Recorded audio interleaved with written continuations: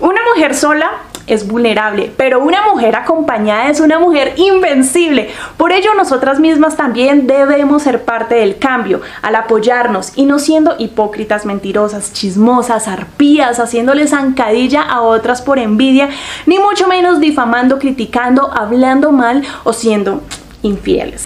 Debemos luchar por nuestros deberes y derechos, pero también esforzarnos por ser cada día mejores para generar cambios en las sociedades sin importar las situaciones adversas que se presenten. Debemos hacernos respetar, no permitir agresiones ni insultos, huir de lo tóxico, buscar ayuda cuando sea necesario, no callar ninguna injusticia. Y si queremos igualdad que sea por medio de esa equidad de género, como distribuir las tareas domésticas, las tareas en la casa, no son para las mujeres, ni tampoco esperar que el hombre sea el de los gastos, eso ya está mandado a recoger. Tenemos que tener un equilibrio de responsabilidades. Si los hombres o las mujeres ven que sus amigos ridiculizan, desprecian o humillan a alguna mujer, hay que llamar la atención. De igual manera, mujeres frenar ese machismo cuando otra mujer es parte del acoso hacia otra mujer.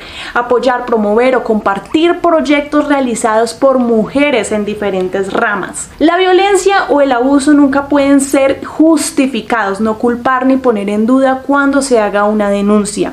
No difundir fotos de mujeres desnudas ni referirse a ellas de manera ofensiva. De igual manera con los hombres. En la calle no buscamos aprobación. Debemos trabajar en equipo. Somos fuertes, somos valientes, somos guerreras y luchadoras. Exijamos, pero también seamos parte del cambio.